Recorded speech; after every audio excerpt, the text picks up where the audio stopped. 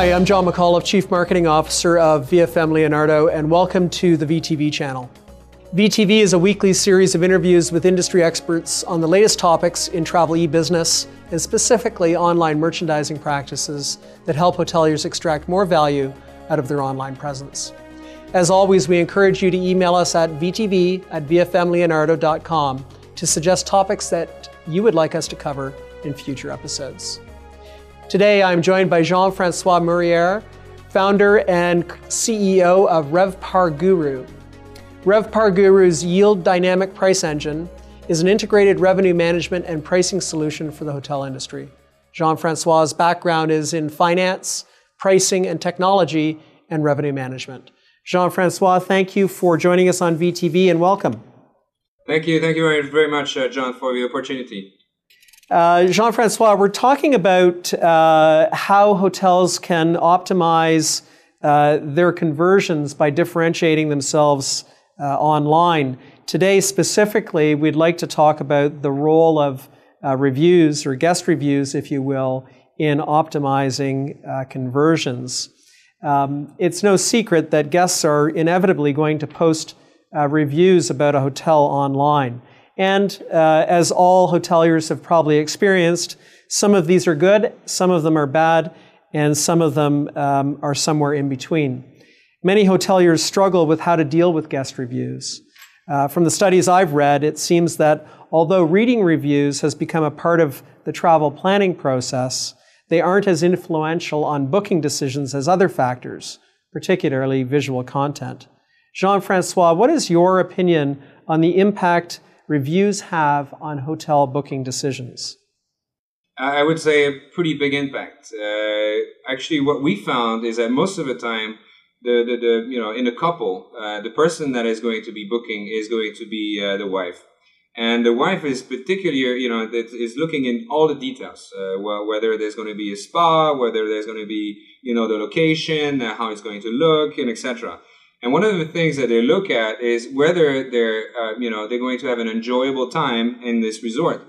Obviously, if the reviews from the consumers are very bad, uh, she's probably or most likely not going to book uh, that uh, specific hotel. So the reviews do have an impact, and and I think hoteliers should, uh, you know, really look at the reviews and and and take it not as a critique, but more as a gift. Mm-hmm. Uh, what do you mean by as a gift? Well, it's it's a gift because the consumer took the time to actually inform the hotel what is wrong with the hotel. Now, in some instances, you're going to have, uh, you know, you're going to have, uh, you know, consumers who are going to come very tired and they miss their flight and uh, and they're going to be in a bad mood no matter what, and they're going to write a bad review uh, no matter what. But you do have, uh, you know, the majority of the reviews that actually indicate and give you some information. And by this is very important because you need to note and, and the hoteliers need to actually do the work and, and look at the, these reviews and take this as an information on what they need to do to fix and to, to improve their, their hotel and to improve their service. At right, the end of the right. day, it's it, we're you know we're in the service industry, so we should know and we should learn from our consumers what we do wrong. And actually, a lot of these reviews are you know genuine and they teach us something.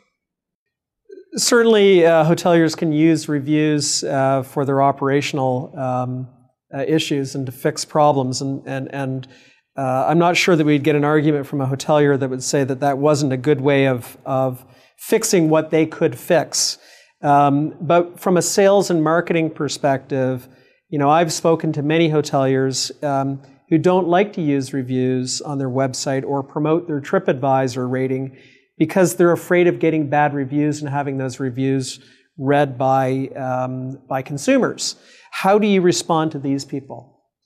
Well, you, you, you when I used to work at different hotels, uh, we took actually, uh, uh, you know, instead of having a, a, reactive action, we took the proactive action to uh, go back to the consumer and uh, publicly go back on uh, on you know TripAdvisor and uh, and and and write uh, a counter to uh, you know to, to, to the problems.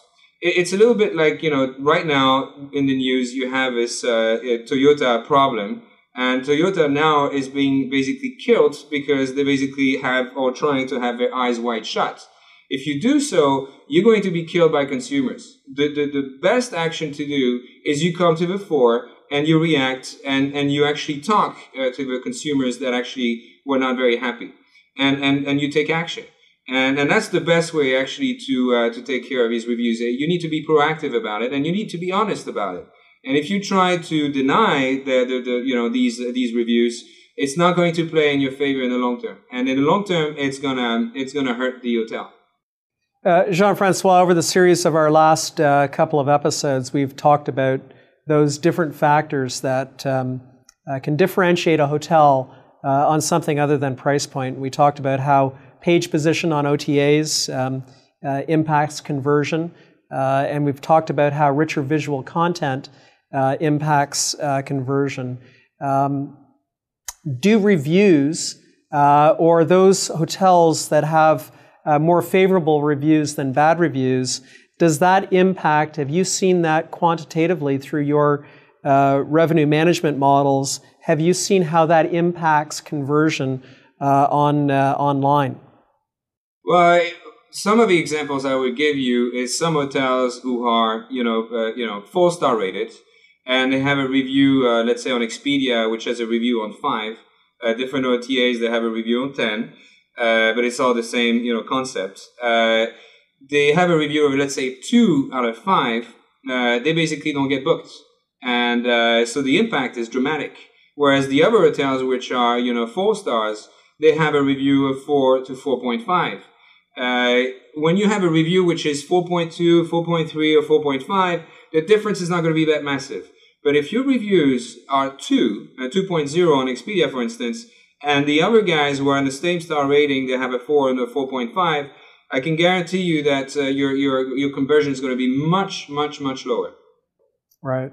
So it certainly sounds like um, hoteliers need to focus not just on um, uh, the revenue um, uh, rates and avail- the rates that they have available online, but they need to focus on, on a number of other factors that can help uh, optimize their conversions online. Certainly, um, uh, positive reviews uh, that give them uh, a much higher review rating uh, is one of those factors.